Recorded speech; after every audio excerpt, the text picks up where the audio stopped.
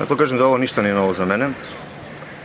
Ove njegove optužbe traju uh, maltene od kad je on na vlasti, jer on se ponaša kao da je opozicija, ne kao da je vlasti, ne ponaša se kao predsjednik opštine Dimitrov, nego se ponaša kao borac protiv svih svojih političkih protivnika, tako da ako ste, a verujem da ste pratili političku scenu u Dimitrovu, vi ste videli da tamo od maja meseca, od kad sam ja poverenik Srpske napredne stranke u Dimitrovu, pa sve od dana današnjeg traju optužbe na moj račun.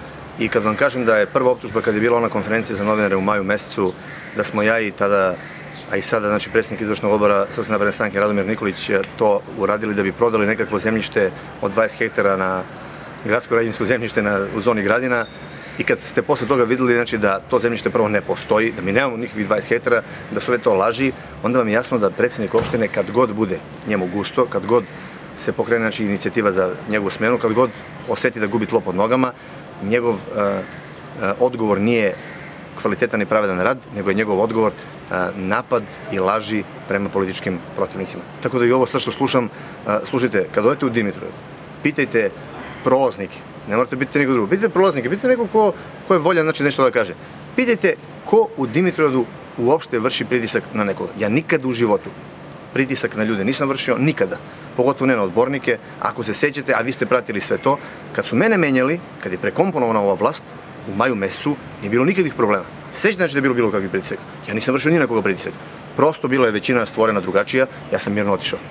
Nebojš Ivanov to očigledno ne ume da prihvati, on ne ume da prihvati da je politička realnost sasvim drugačija, da je njega pregazila, da njegov URS nema nikakvu perspektivu, da za opštinu Dimitrov ništa nije uradio, on gubi odbornike, I sad pribeže a, sili, jer upravo on ucenjuje preti odbornicima, a to naravno oni neće priznati, oni će vjerojatno reći da ih niko ne dira, jer naravno to su mirni ljudi koji hoće znači, da normalno žive svoj život, ali evo ja vam garantujem kad se promeni vlast u opštini Dimitrov neće biti nikakvih pritisaka.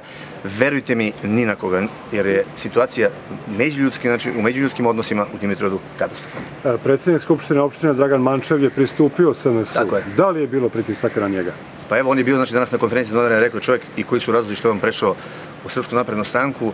A, mogu da kažem da a, možda je imenom i prezimenom iznenađenje za mene, znači da će predsjednik Skupština pređe kod nas, ali ja očekujem e, svakog dana da kažem da pređu odbornici jer su nezdovoljni radom predsjednika opštine, jer su nezdovoljni stanjem u opštini Dimitrov i oni su to javno rekli. Ja ih očekujem da svakim danom pređu.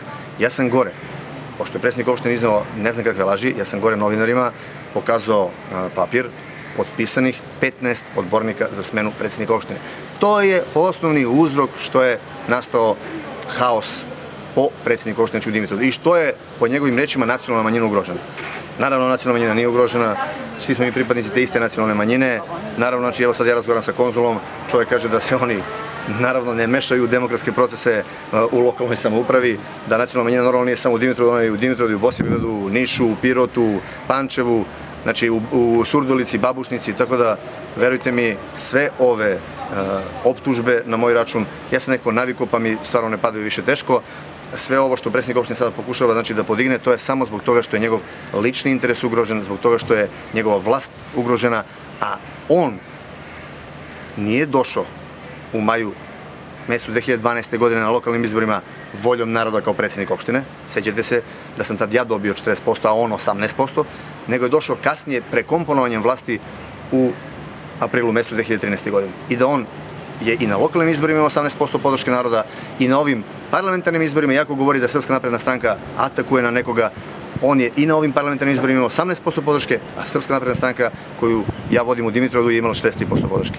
To dovoljno govori da narod, i još nešto, zapamtite ovo i volio bi da to objavite, Nebojša Ivanov, nikada, nikada, od kad se bavi politikom, nije dobio ni jedne izbore u Dimitrovgradu, ni lokalne, ni republičke, ni jedne izbore i nikada u svojoj mesnoj zajednici, znači Željuša nije dobio izbore. Nikad nije bio na prvom mestu.